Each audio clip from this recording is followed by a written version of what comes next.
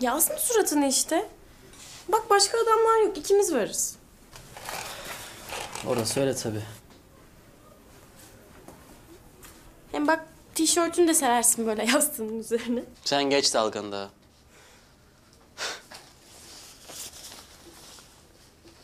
buldum. Senden ne isteyeceğimi buldum. Bu sefer kaçışın yok hanımefendi. Çünkü sözün var. Evet neymiş bakalım? Ha yalnız öyle ahlaksız bir teklifte falan bulunacaksan siyah kuşağımı hatırlatayım sana. Hiç uğraşma dalgaya getiremezsin. Evet senden ne istediğimi söylüyorum. Bana kendinden bahsedeceksin. Senin hakkındaki her şeyi bilmek istiyorum. Evet buyurun. Hayda. Sen baya baya ciddisin. Hı hı. Karlı bir kış günüydü.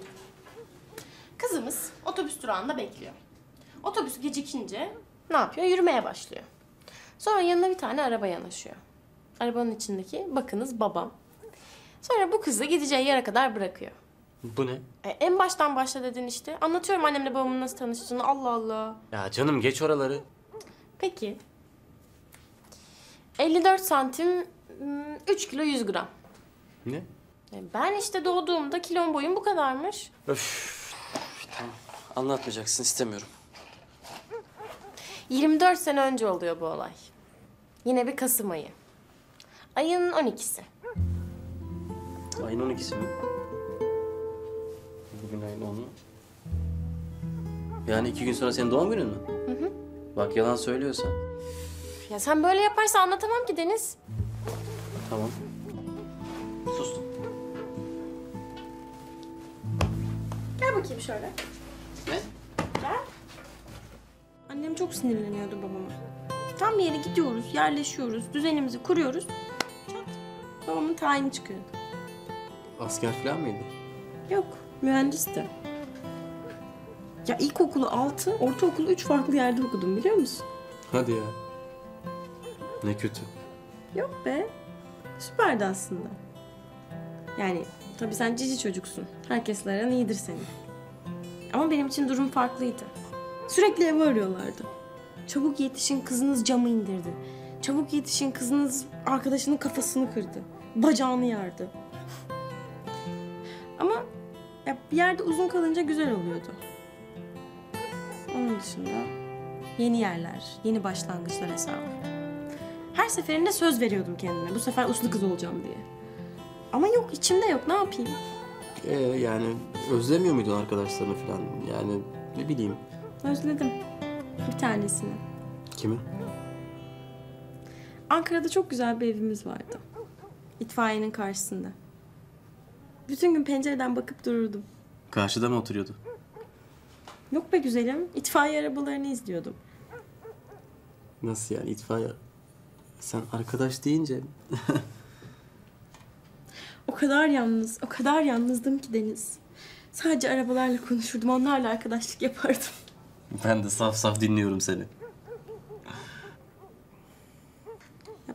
Bilmiyorum. Yani doğru dürüst arkadaşım olmadığı için. Annem bütün gününü babama sinir olmakla geçiriyordu. Babamsa zaten akşamdan akşama eve geliyordu. Kemalettin Tuğcu romanları gibi.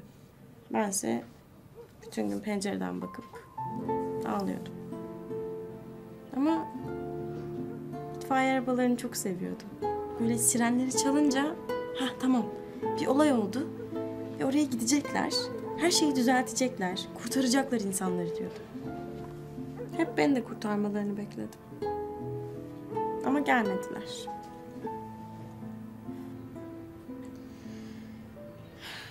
Öyle işte. Ne oldu? Çok süper bir hayatım olduğunu falan sanıyordun değil mi?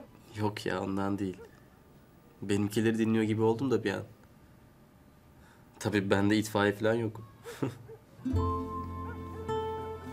Bir gün kesin yapacağım biliyor musun? Bir gün bineceğim o arabaya. Sirenleri çalıp gideceğim böyle. İnsanların hayatını kurtaracağım. Mutlu edeceğim onları. Evet. Bir gün kesin yapacağım. Neyse. Bu gecelik yeter mi? Peki. Ha, sana son bir şey soracağım. Hani Çantanı bende unutmuştun ya. Karıştırdın değil mi? Aha. Yani evet. Ee?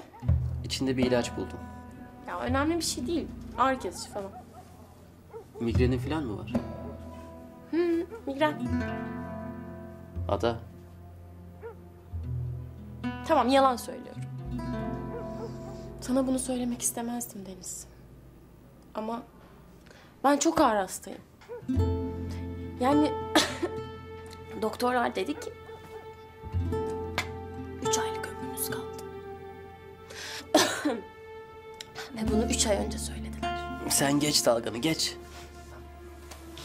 Hadi geç oğlum.